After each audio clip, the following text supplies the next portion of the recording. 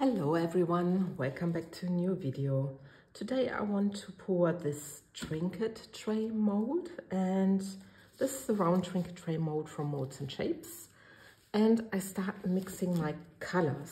So I have here my cups and I guess I need um, four, five cups and yeah, I'm just dividing my resin I'm using the Mastercast resin and I want to achieve a sort of um, crackle effect, um, but just a little bit different. So um, I have not really used much the Mastercast resin for um, the crackle effect. So I'm quite curious um, how this is going to work. The Mastercast is a one-to-one -one resin. It's a rather thick resin. And it has a working time from around about 40 minutes, 35 minutes, something like this. So um, I think I can use a little bit more here for my white. And I'm also starting with my white. I'm using here the Resitint Max Titanium White and look, it's almost empty. So I really need to scratch it out and I need to order a new one. but I have it for so long already, but now it's, it's really done. So you see, I'm, I'm using rather a lot. I might have to take another um, popsicle stick because I want to have it really opaque. So this is my first color. Then my second color is this awesome mint mica from Etter Art. And I'm using also quite a lot, you see it. So I wanted, I want the colors to be really um, very shiny or very present. And this is um, mica called Lavender. Yeah, just a little bit more. Oh, I can use this. And here is a mica and this is sand. Awesome color. So you see, I really use a lot. Um, and here I'm gonna work with the pigment drops in white because I want to make a flower in the center two, three, four, I guess five drops is, is fine. I will see. So I'm just stirring and you see it's really very heavy what I'm mixing, but I'm doing this on purpose. And I'm very curious what result I'm gonna um, achieve, but yeah. I will stir this and then I'm back after I um, stirred everything because um, it takes a while. So I'm back, I mixed everything very good. And now I'm just taking my clear resin and I'm pouring along the edge. I love doing this because um, you get such wonderful effects, especially at this um, engraving of the trinket um, dish mold and yeah this is what I like to do. So this is just try to be rather accurate. You cannot always do it so accurate but yeah.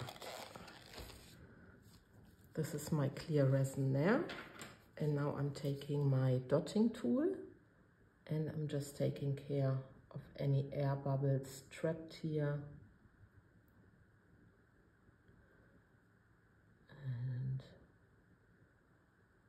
please, um, when you do this, when you use your dotting tool, always also try to be careful that you are not doing anything to your mold.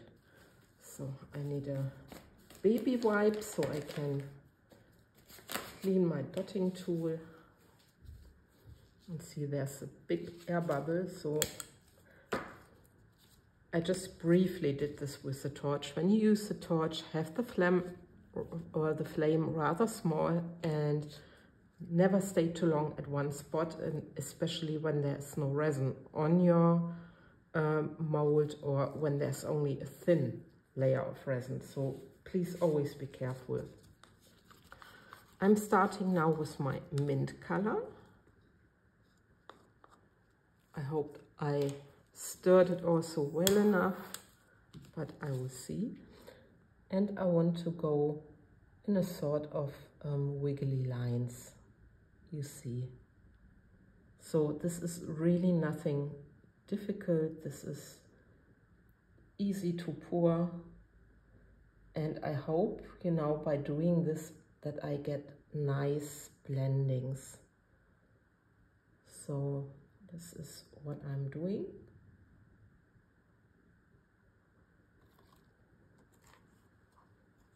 This is my mint color.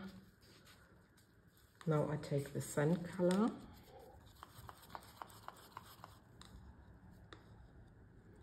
And I'm gonna do the same thing.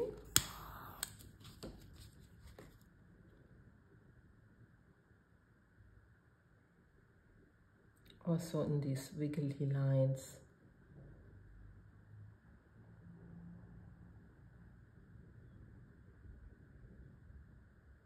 Also um, take two rows and because I mixed my um, micas very um, strong I hope that um, yeah that the colors will sink to the bottom. And now this awesome color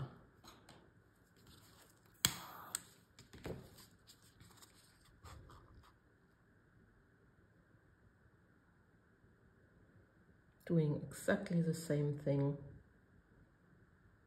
Just layering my colors above each other in these wiggly lines.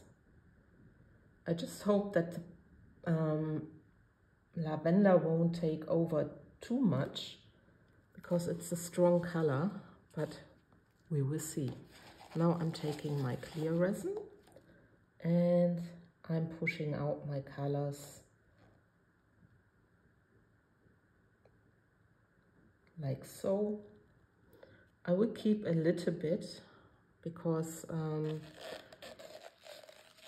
I want to maybe um, push it a little bit more at the side. There's still air bubble. See, you, you always have these. And there's something in my mold. So this could be unmixed mica. So I try to take care of it as soon as possible even though I mixed my mica very, very um, long, very much, um, yeah, you sometimes have it. So, and now I'm repeating this um, with my colors. Just again,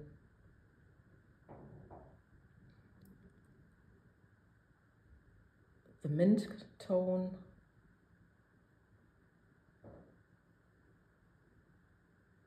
and then I'm yeah I'm gonna continue with the sand and I just take all the colors I have. So I empty my cups.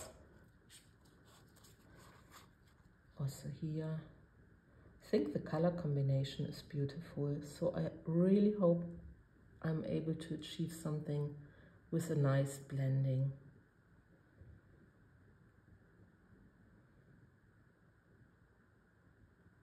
And sorry if I don't talk so much, it's um, because I'm concentrating. Um, yeah, I hope it's, it's fine for you. And my last color here.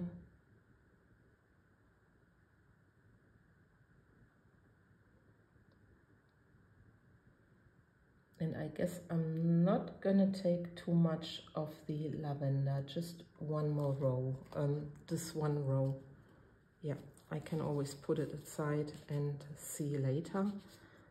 And now I'm gonna push out again and then I will take my white.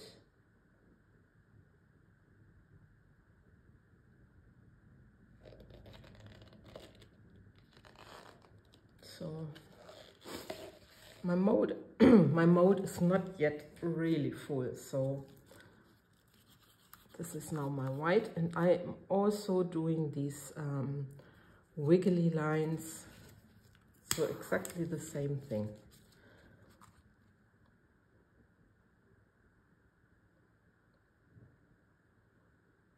Like so. The white helps the colors um, to pull towards the center and that's why I'm using here the white and I mixed it like I said rather opaque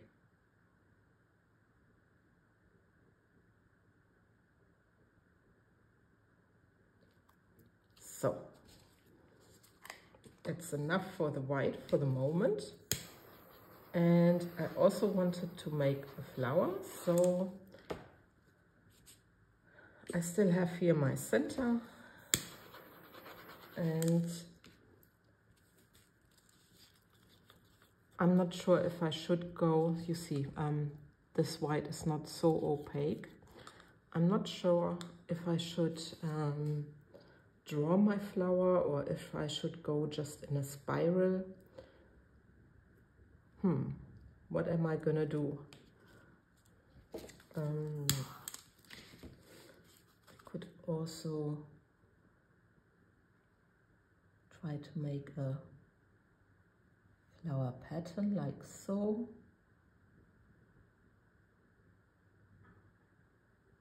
Not always too good in drawing these flowers like so. so please bear with me.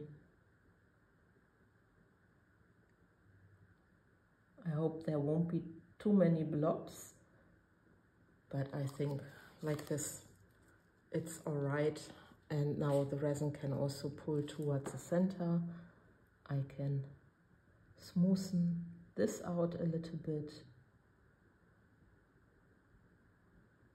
and I'm not gonna work with glitter or anything um, I can maybe design it a little bit more like um, pulling my stick through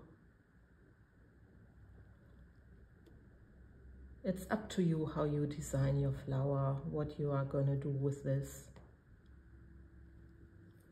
Just a tiny bit and then I'm giving it a swirl like so. And I hope that um, my colors are gonna um, pull over um, over my flower Sorry for my English this morning. it's, it's morning and I'm not awake for too long. Maybe I just use a little bit more of the opaque white just to help moving. It looks quite promising, but it looks also very chaotic. So I am very curious how this is gonna work.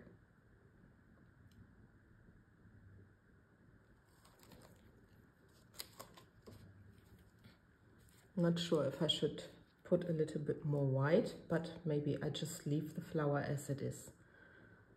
Um, yeah, I put you on a time lapse so you can see what's gonna happen and um, how the resin is moving, if it's moving, um, I may consider getting my um, heat gun. You will see it in, in the time lapse and then I will maybe um, blow out very carefully just the edge. Okay.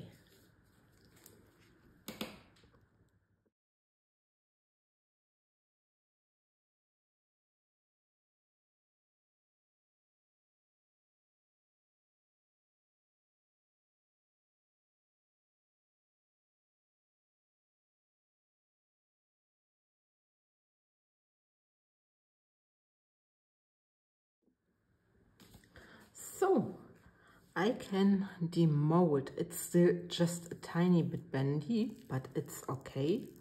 Let me just start getting the first um, layer off. and then we can have a look. It's always, you know, with the getting it out of this little rim. So I'm just very curious how this turned out if I have the nice color blendings. And look at this. I love it. I really love it. Look at that. And there's a flower, but you have also a sort of web effect. So I really adore this. It's beautiful. Wow.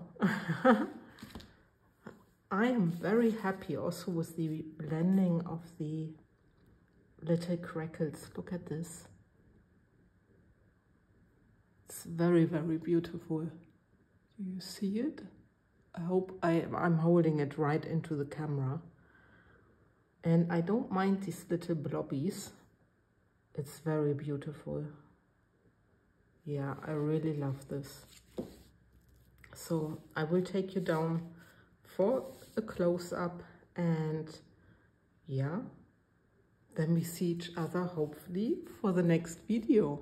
Take care guys. Bye bye.